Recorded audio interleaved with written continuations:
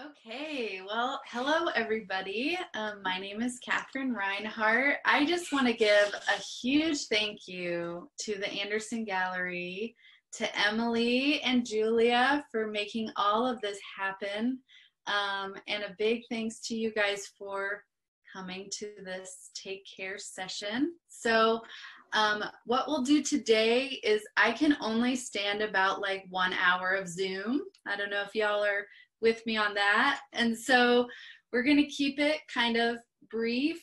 Um, and first, I'm going to give you a little sort of presentation about my work and my background, and I'll talk about the some of the pieces in this show that I have. Um, and then I'll also share some sort of resources that I've been researching through with this project um, and the genesis of the collective mending sessions. So um, yeah, I will just share my screen. And then after that little thing, we can um, get ready to do the take care session. And that's when we'll get out our quilt blocks and get all comfortable and, and I'll sort of lead us in that.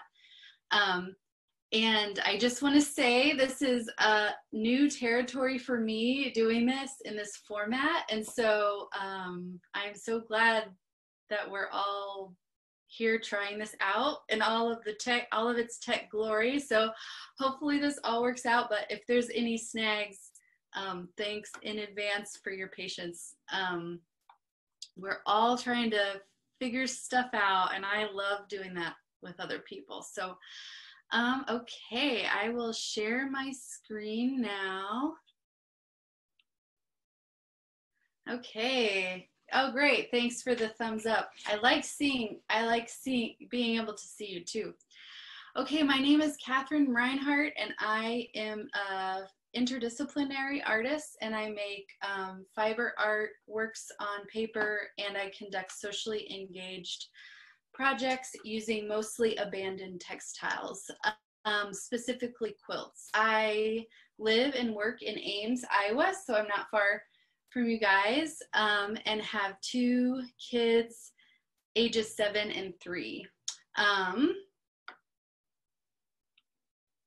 okay, I am so excited to have these next pieces in this show. I saw them in the video a little bit close to you guys. Yeah.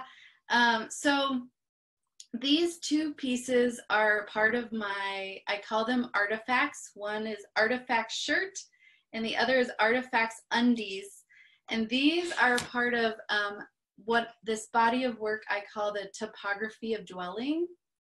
And um, it's a body of work that I am trying to sort of be both um, archivist and field hand and so I'm investigating the landscape of my home and sort of mapping the terrain of the domestic place. And so um, one thing being a fiber artist about the the home place that I really sort of connect with is laundry and the piles of laundry and the process of sorting and um, just so, sort of processing the laundry. And so um, I was looking at maps and thinking about laundry. And so these pieces, I took my kid's dirty laundry. So this one is one of his shirts, my son's shirt. And these are his toddler training underwear. and I use those and trace them and use them as sort of the template and then made the topographical map, um, the elevation line drawings um, from there. And so this is one way I'm attempting to sort of map my ex experience as a mother. So my and my experience as like being a stay-at-home mom and an artist both simultaneously. Um, and I think especially during this pandemic, it's become really heightened, you know, that we're all in our home place. And so I think that I try to think of, I'm trying to think of the home and um, my place and sort of these limitations that were set not as barriers but as boundaries and how i can make work you know using the boundaries that are set in place right now. So it's sort of like trying to be it's sort of like a hopeful way to generate art out of maybe not an ideal situation um, or just a really challenging one um, and I found motherhood and parenting to be pretty challenging, um, but but very grow you know a growth process. Um, this uh, piece is also in the show, and um, the title of this piece it's a diptych, so it's a two sculpture um, piece, and the title is my kids' initials, and then um, the date, which is 3 13 2020. And um, these sculptures sort of represent this ritual that we have that's really permeates popular culture and just sort of permeates the the architecture and the place of building a home i think is this ritual of marking heights against a wall you know we see that a lot. A lot of people do that in their own homes when they live there for a long time.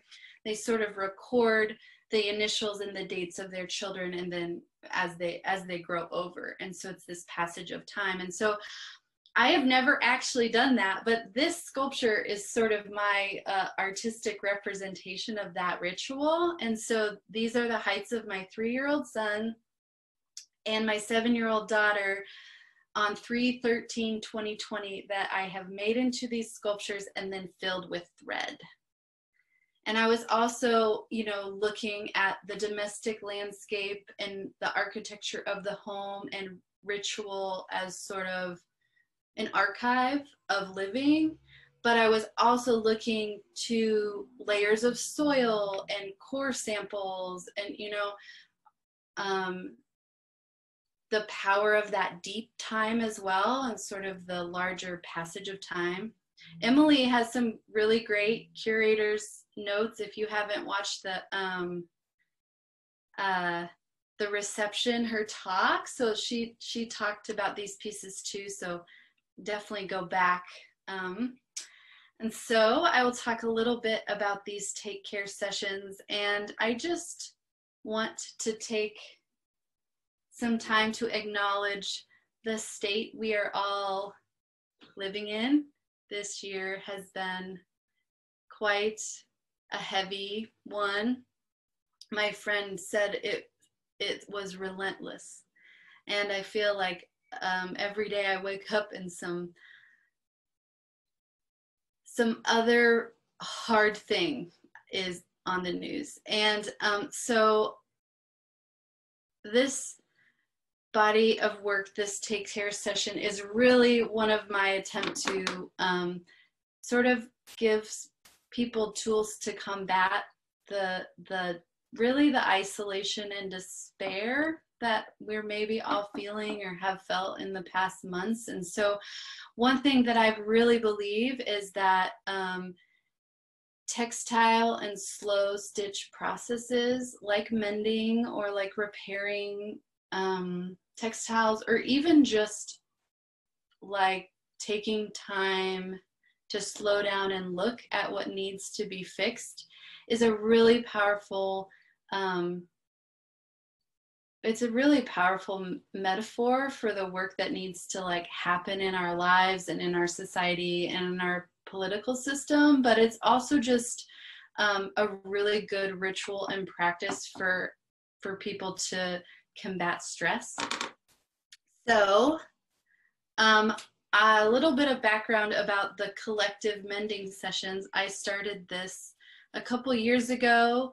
I was given a quilt by my mother, and it was my quilt from when I was a kid, when I was a teenager, and going into college. I moved away to college, and I told her to throw it away and she didn't because she is a wiser than me as most mothers are and she kept it and she gave it to me two years ago and um, i just know knew i needed to repair it it was really tattered but i it was such a big job. I just could not do it by myself.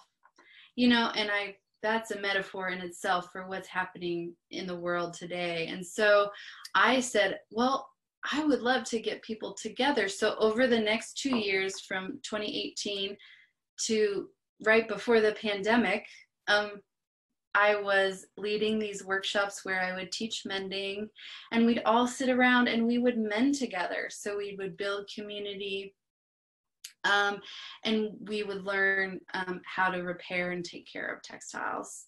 Um, all skill levels welcome.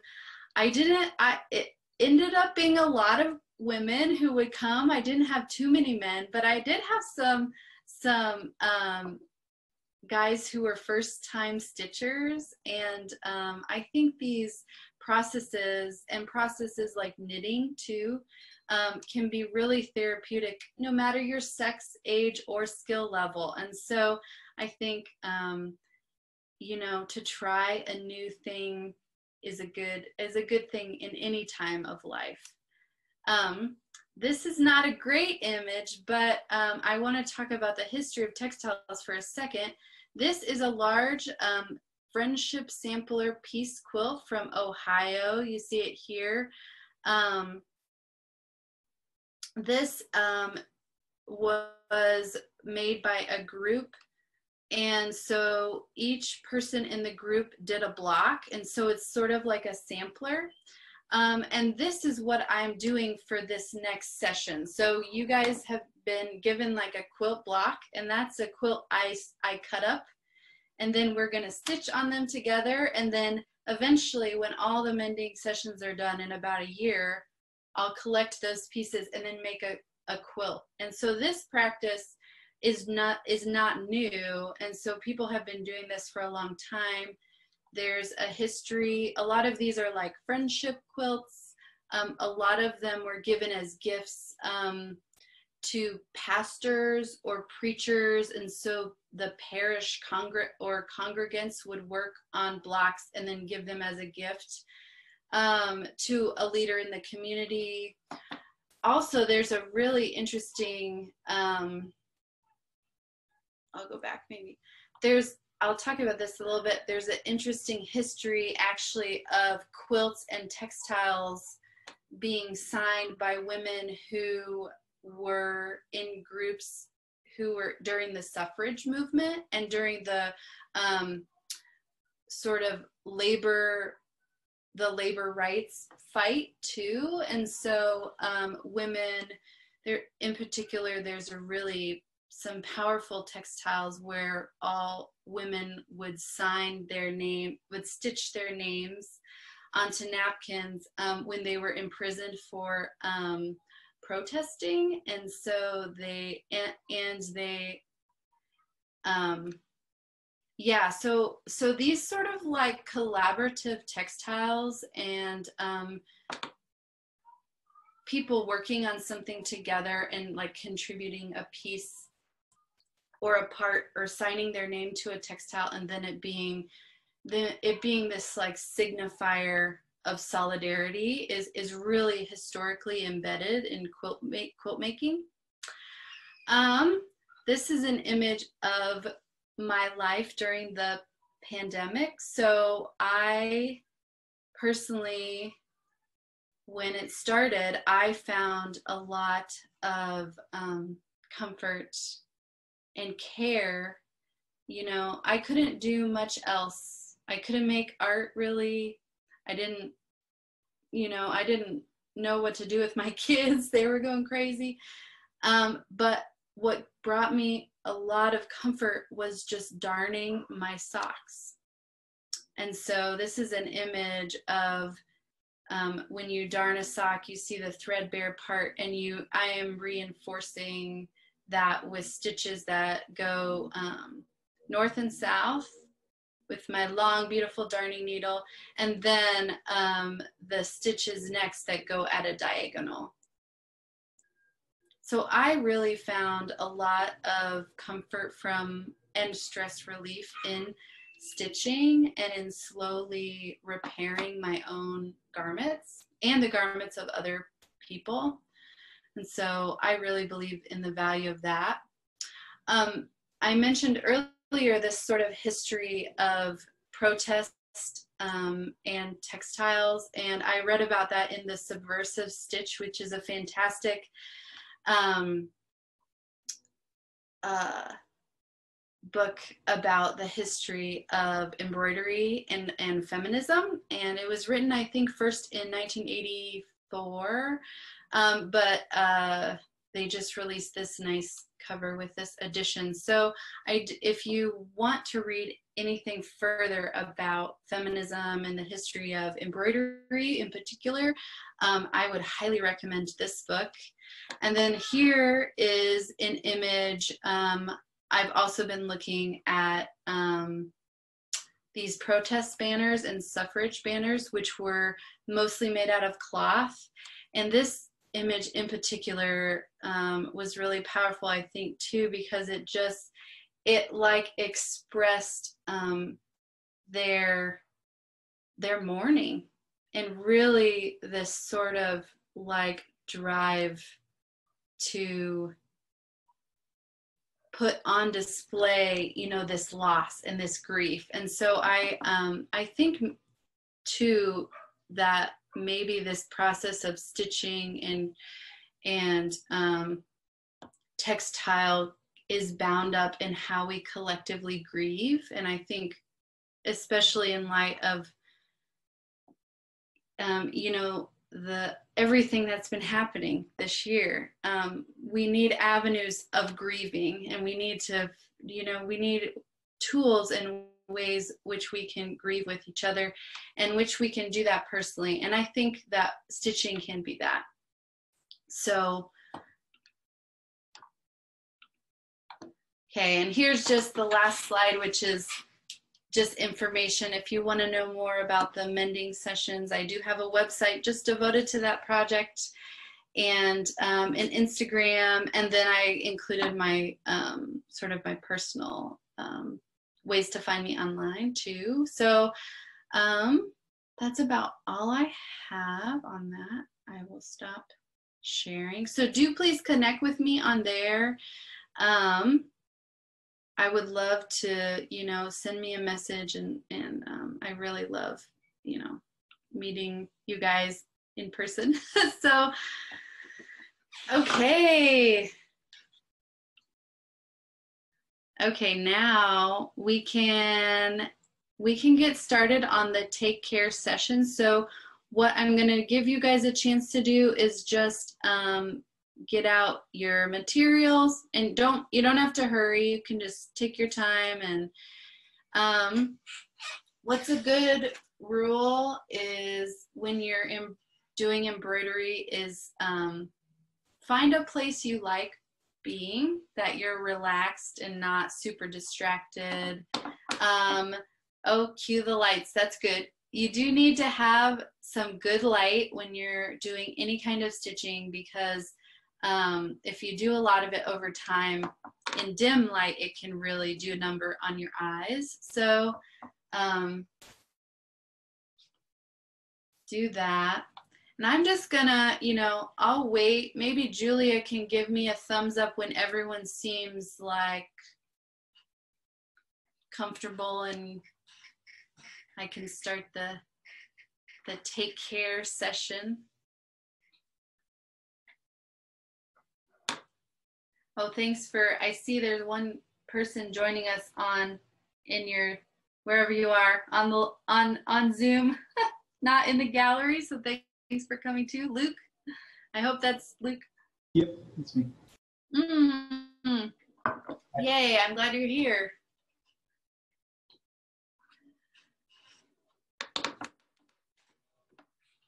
And you don't, okay, so to begin, you don't need your needles ready. You can sort of, I want you to have your quilt block.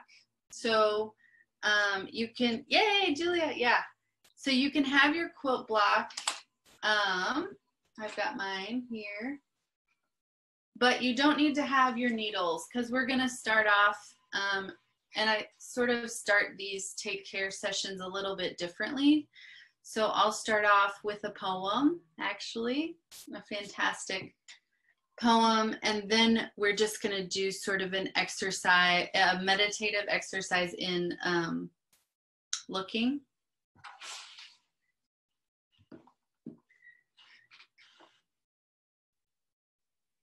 Hmm. Let me find my, let me get ready here too.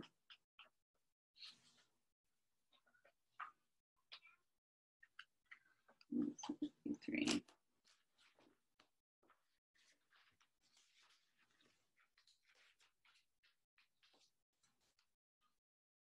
Okay. Are we, we're good. Okay. I will switch. So I'm going to switch to, so you guys can see the quilt, which is like much prettier than my own face. Okay, so oh, with this, you guys can just relax. Make sure your um, make sure your feet, like if you're sitting on a chair, make sure your feet are touching the floor. Um, if you're, sometimes I do embroidery and I just sit on the ground. So if you're sitting on the ground, just make sure you relax your shoulders and take a few deep breaths.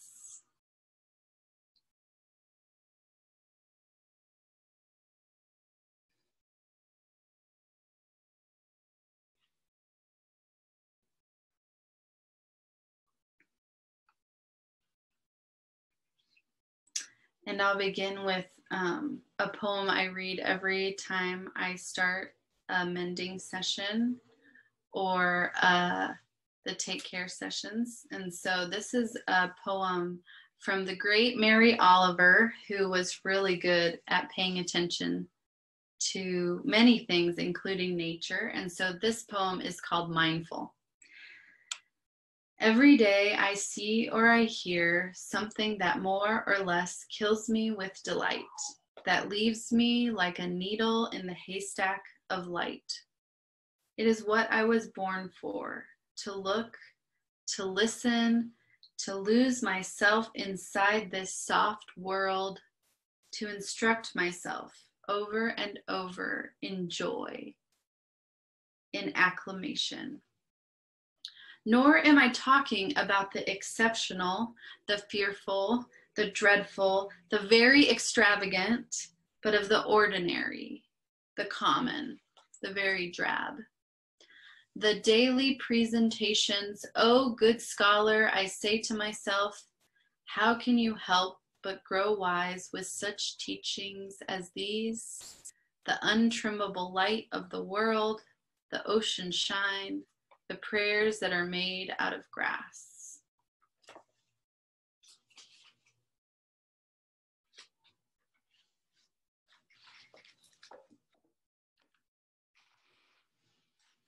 And I read that really because one important part of taking care of textiles is learning how to notice things. And I think her poems in particular really helped me to know the value of looking and looking long and deep and sort of um, slowly at things. And so, what we're going to do now is we're just going to do an exercise in looking. And so, we're going to look at our quilt block. So, um, just get in a really comfortable place and I'll lead you through that. Let's see, we'll do that for about five minutes. And so this can seem like a really long time if you, I, I mean, it always does to me, but I promise it is so good. So what I want you guys to do is I want you to look at your quilt blocks and during this, do remember um, your breath. So make sure you're keeping your breath big. Um, and those would be like breathing out for about four seconds and then breathing in for about five or six. And just making sure the pace of your breath is just really smooth. And you're going to observe your textile with all, all, of your senses. So that means you can look at it, look at um, the patterns. Look at, you know, I always see maps and textiles. So look at the ridges, look at the boundaries, look at the seams. In these quilt blocks, someone has fantastic, done some fantastic hand sewing on each of these triangles, which is just so much work. And you can think about the amount of time and attention that goes into making all of these tiny little stitches, all of that labor put in by someone I don't I don't know who made this quilt. It's an unknown, unknown person. Look at where the stitches are coming out this quilt was kind of was in pretty good shape so you might not have any areas where it's really been torn or um, in need of repair and that's okay too. Some other areas in this quilt were had some had some damage in them. You can flip it over to the back and notice the pattern of stitching and what it does to the fabric from the front to the back. You can, you know, touch it. I always try to guess, you know, is this all one kind of um, fiber. So is, is it all cotton or does some of it look like it was silk or, you know, maybe it was taken from a garment or maybe they, you know, you can make up what I love is that in a lot of these old textiles, there's all these stories in them. You know, maybe these were kids' clothes that someone cut up, or maybe they just bought the yardage from the store, or it's an interesting exercise in using your imagination too. Sometimes, a lot of times, I like smell them too. So I know it's a little weird, but if you want to I did wash these, so they shouldn't smell that bad. But um, look at the edges where I cut. Look at the layers of the quilt, the material, how it's constructed together. That's an important thing to notice. Looks like this has a flannel inner inner piece.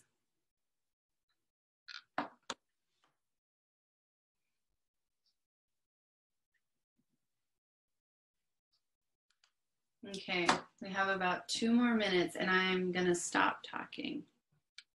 And you can just keep, try to keep looking.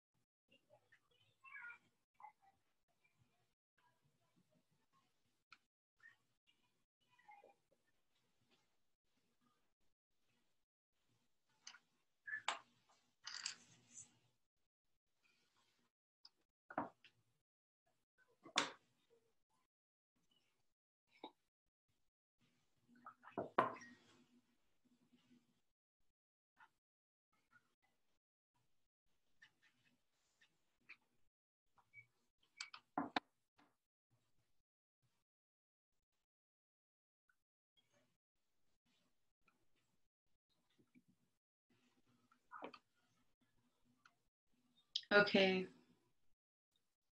Five minutes is up. Sometimes I I like to have people take notes after we do that exercise. It's interesting, like what thoughts come up. Um, and you know, it's hard to share. It's hard. I if if I was there with you in the room, I would have everyone share sort of what they what things came to mind or what parts they like of their quilt block of their textile so um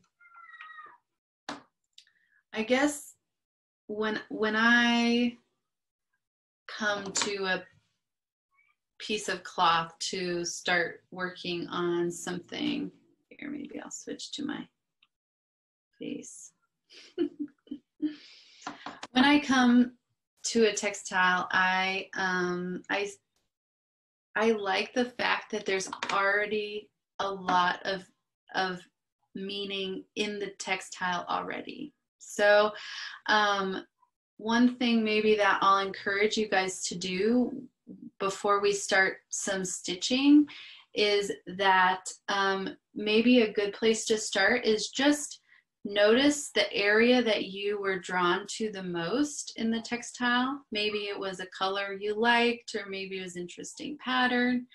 Maybe it was a place that was really ripped or torn and you want to fix it. Um, and and I suggest that's where you you know you begin your stitching. So um, certainly there's like different ways we can approach this and like i'm probably not going to give you too many lessons this in this format because that's a little hard to teach you the stitches but i julia has some handouts that have some great like technical um like how to darn and how to do a patch and how to repair your textiles. Um, and so a lot of this project too is just giving people agency to like learn those skills on your own. And so I just encourage people, and I'm going to encourage you guys to like jump right in with these quilt blocks today and just start stitching, but it'll be really hard for me to show you stitches like on, on here. I'm sure Emily is like way better at this since she's probably been teaching online, but I have, I have not been. Um, but all that to say, we're just gonna jump in and we're gonna thread our needles and we're gonna start stitching with a, whatever little stitches you know. Um, I will switch to my video. And this is like a low stakes game, right? Like feel free to start your stitches. Um, if you mess up, that's fine. Um, if you can't get something right, I'm sure, you know, oh, Can you show us your, yes, there we yeah. go. Okay, yeah. So, okay, so I think Emily gave you some embroidery hoops. So this one I have is, is a metal one. Um, and just how you use them. What I'm gonna do is, I don't know if you can see it, I have a little rip here. And instead of me repairing it, like instead of me closing closing the wound, if you will. I kind of don't want to do that. I want to make it really obvious that it it's um, torn here. So I, and that's just a choice I'm going to make. Like that's where I want to start. So I am going to put my embroidery hoop on. A lot of the times when I'm stitching, I actually don't use a hoop, especially when I'm stitching on like a giant quilt just because it's really, I don't know. Um, but in the beginning, when you're just learning how to do some stitches, it's nice to have um, the hoop to keep things tight and to not have to manage um, not have to manage your textile with the other hand. Yes, Emily and Julia for helping. I, with two little kids, being there in person is super difficult because I have no, I have no childcare. So um, we are just gonna make this work and um, yeah, I'll be, I'll just be quiet here for a little while while they help you guys with your hoops. Mine has a spring, so mine is, um, mine is metal and it has this cork, this part is cork here. And what I do is I just put that back piece inside under the area where I want to stitch so you can kind of see where it is. And then this is the other part of my hoop. And my hoop has got a, it's like a tension. This is like a spring. But a lot of wooden hoops would also have a screw that you unscrew to make it a little bit bigger. And then you, I find it easy to put them on one side and then continue on. Like you're putting on a jar you know like a lid? So like start in one place and then just press them on through the whole thing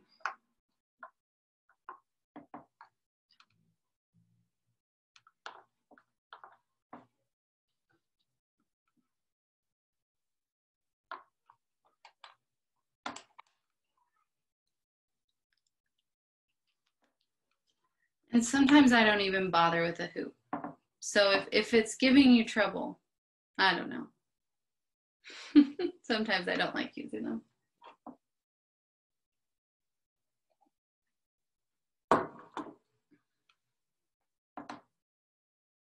I know. Ideally, We're we almost would... there, Catherine. Hold on, just a second. Oh no, it's fine.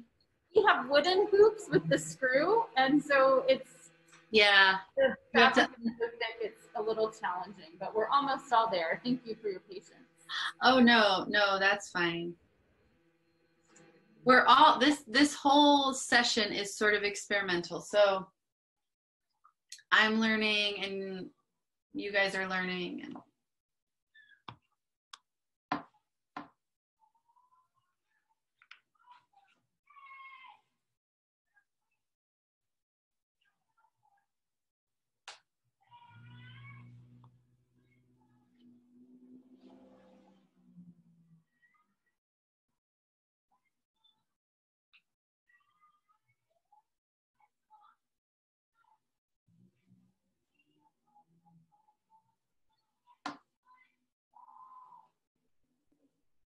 All right, Catherine, I think we're set.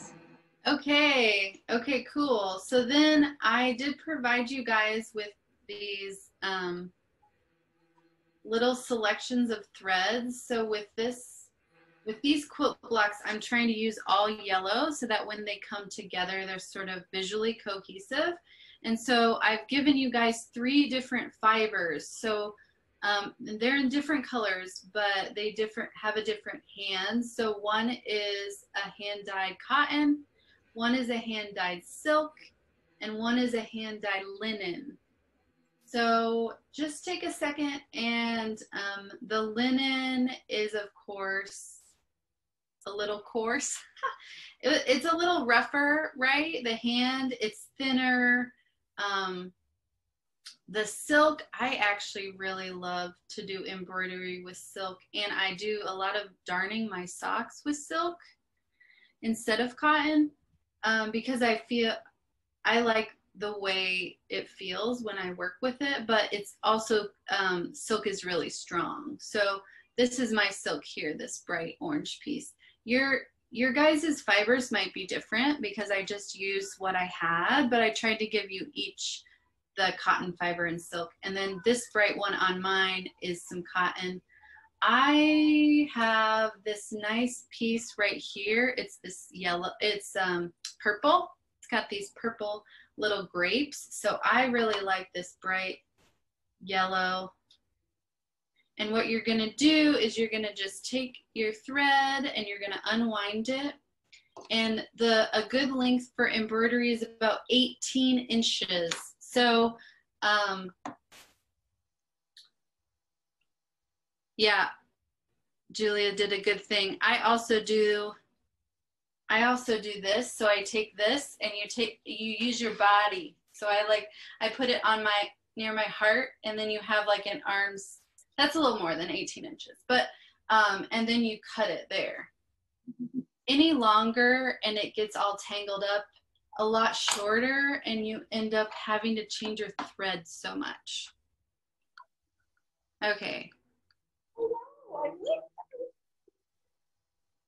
Okay, I think I tried to give you all these like big, this is hard. I need to like zoom in. But I tried to give you all these big darning needles. What's really nice about these is they have a huge eye in which to thread your thread. um, and they're long, so when you do darning, you need a long needle because you're essentially making cloth and weaving, which we won't be doing. But that's just a reason. So needles, you know, the right tool for the right job is always good. And so embroidery needles will be sharper, but they'll have big holes. Um, one trick is to to thread your needle is to lick the side you're gonna put through the eye so you guys can just thread your needles. I'm gonna try to do it under the camera, which is kind of hard to do.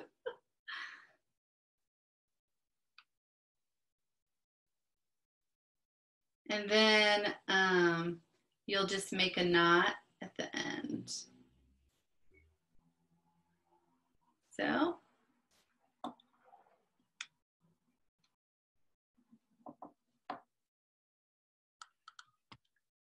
And then you're just gonna go ahead and, and stitch if if um so whatever you feel comfortable in i'm probably not going to show you guys too many stitches because we don't have we only have about 10 minutes left so what i'm going to do is i'm just you guys can start stitching however you want to um, if you don't know what to do or you um, don't feel too comfortable i would just suggest doing a straight stitch so um, what you're gonna do, I did this without even telling you, but um, what you're gonna do to start is you take your needle and you start up from behind. So find the place that you wanna start. What I do is I kind of put my finger where I wanna go into the fabric, you know, and then you go from the back and you go up. And then you kind of start your stitching. What do I want to do?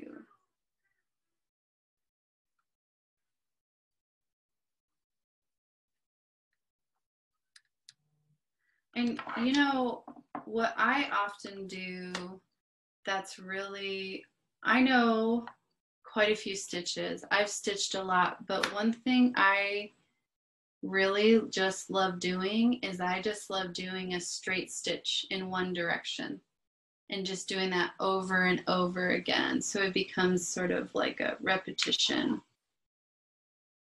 You can also, um, maybe you decide you want to follow the pattern that you see on your on in the quilt block actually I'm not gonna deal with the rip, but I have these really great, this is hard to like show you. I have these really great little purple berries that are in this print. I'm gonna make some yellow French knots, make some little yellow berries here that will go along. and just you know you can especially if you just started sewing and you don't you don't really know like how to have your hands or just pay attention to your shoulders and try to keep your shoulders down you can get anxious and like tense up so just focus on relaxing your body when you're doing it. What's great, what's great about this project in particular is I really don't care what you do. You can do what you can stitch whatever you like. And if you mess up, that's okay too. This is a safe, sort of a safe textile to learn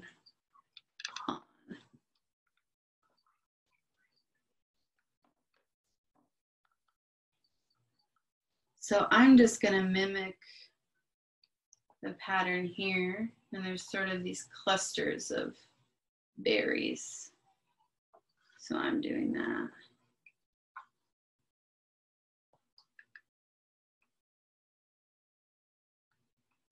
You know, if you don't know what to do, a safe, a good thing, like I said, is just to do the straight stitch.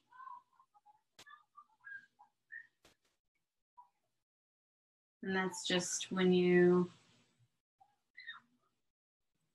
put your needle up and down and then you focus on the stitches being the same length.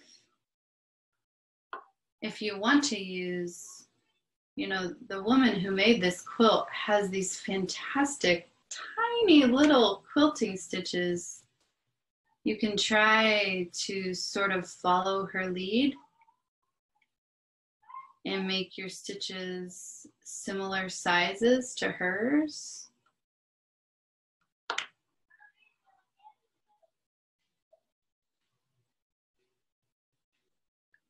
Very quickly, you kind of learn like how hard that is to actually do. it takes a lot of skill and dexterity to do those really fine small stitches.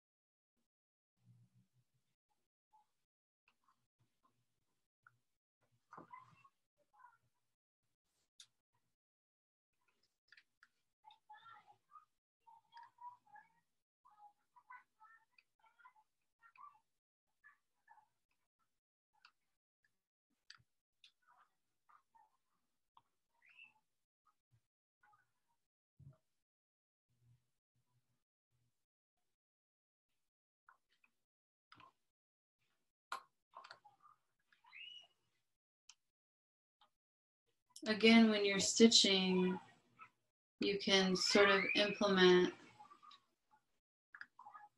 that looking practice that we did when we started, when we were just looking at our textile, but you can notice, you know, notice how the thread, if you're quiet enough, the thread like makes a sound when it's going through the fabric.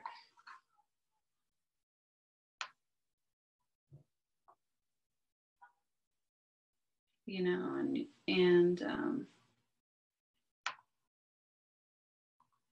different threads will behave in certain ways. I always love to notice how the thread catches the light differently than thread made from another material.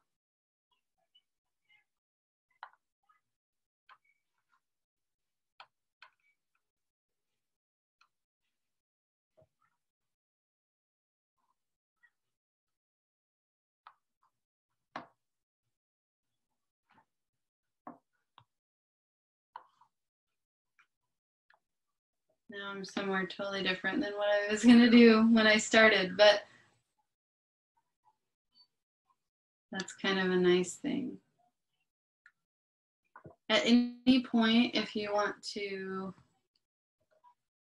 finish your thread or you're getting to the end of your thread, you guys probably aren't yet, which is fine. But um, do remember to leave room to tie off your thread. So ideally you do that in the back in the back. And so you put your thread through and I have a lot of thread here, but um, what I do is I um, make a knot with my needle and then I kind of use my finger to hold the thread down so my knot doesn't, so my knot stays tight against the fabric.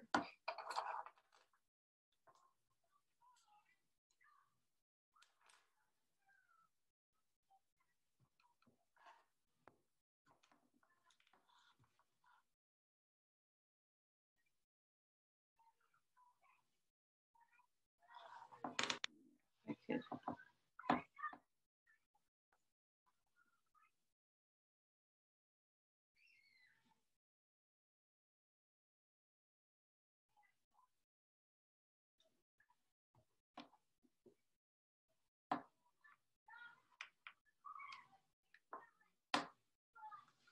don't even know if you can see this very well.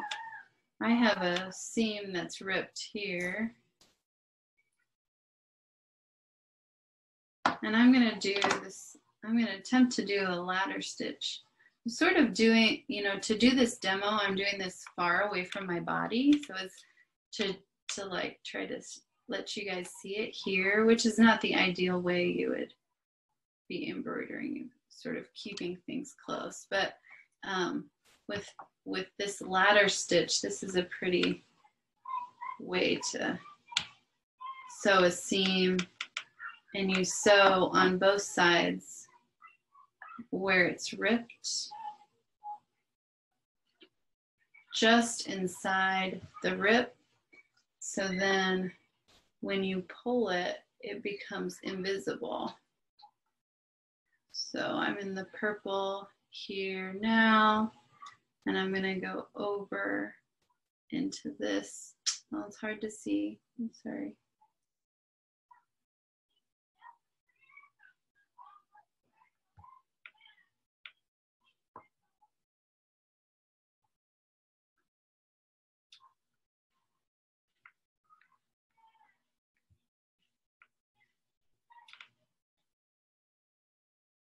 And you know,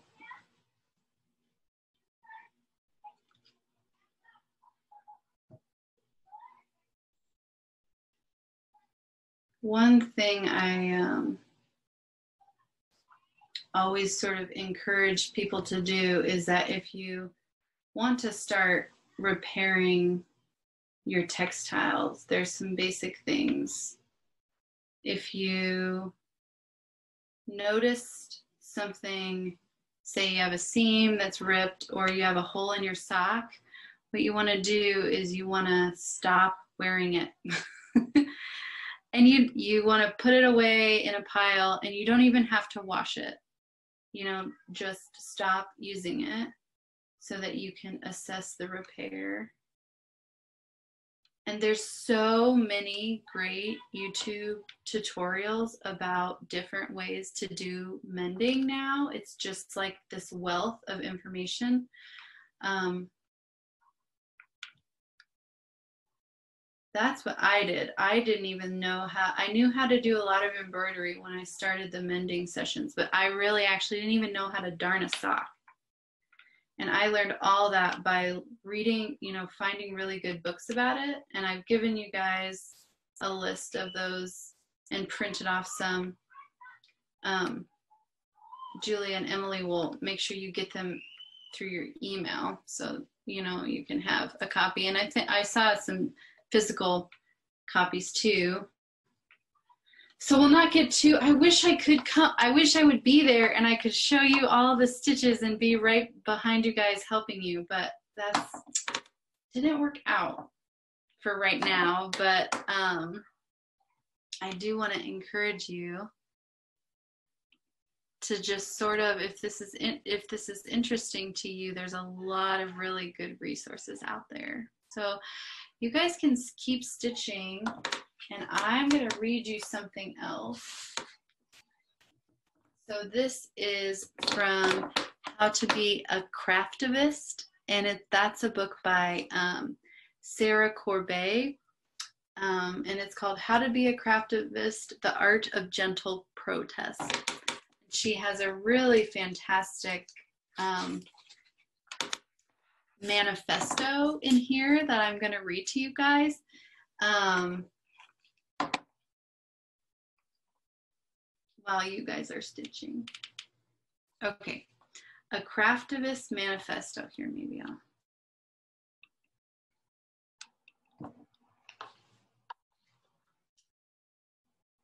And this was um, made with courage and care by the Craftivist Collective. They're online too, so Craftivist Collective, you can look them up.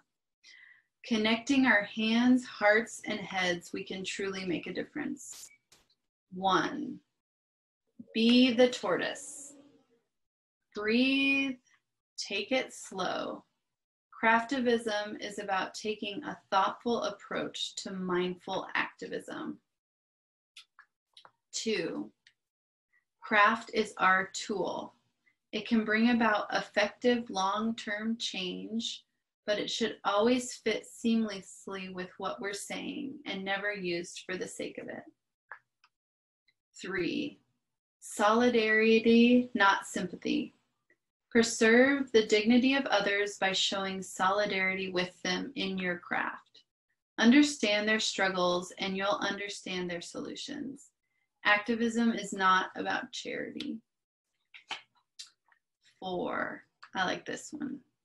Find comfort in contemplation.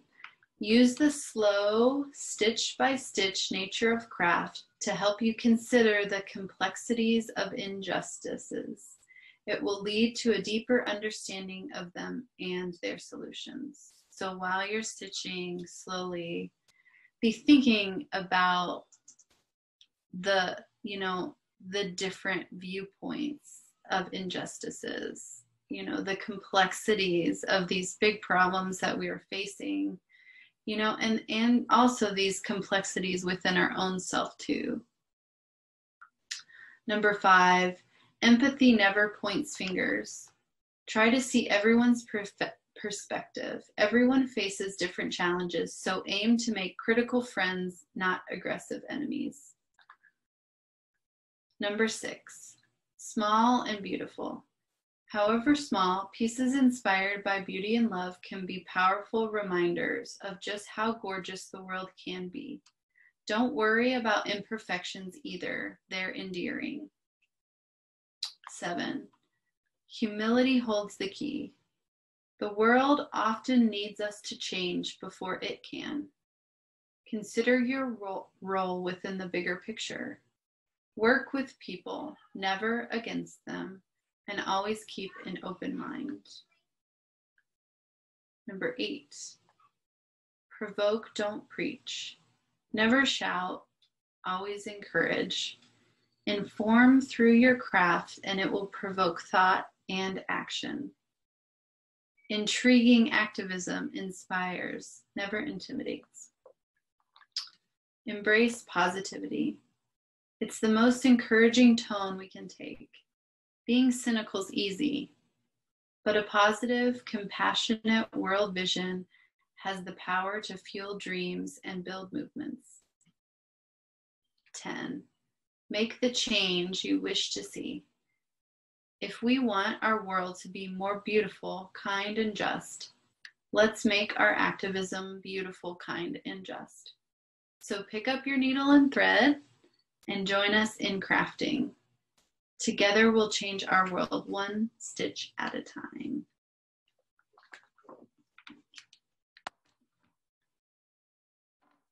Yay. Thank you, Catherine. Oh, yeah. Yeah. Well, you guys are, you know, I'm going to leave you now, I think. But you can feel free to stay and stitch together as long as, you know, Julia, you know, as long as the, the parameters are there. Um, just a little housekeeping. So if any of you want to keep those quilt blocks, you can.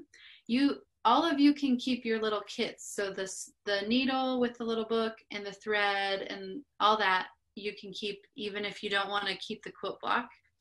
So this this series of mending sessions are going to take place virtually over the next um, from October to March. And so if you want to keep coming, keep your quilt block and all your supplies and then um, make sure you give Julia or Emily your name and your email so then I can send you the Zoom link.